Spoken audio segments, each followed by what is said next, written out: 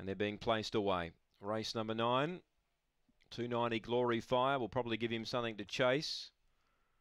They're nearly ready. Green light is turned on. Here's Allure. Short price favourite Croydon Boys, number seven. They're ready. And away, he stepped cleanly. Glory Fire won the start. Favourite gets up to third. Casbomb second.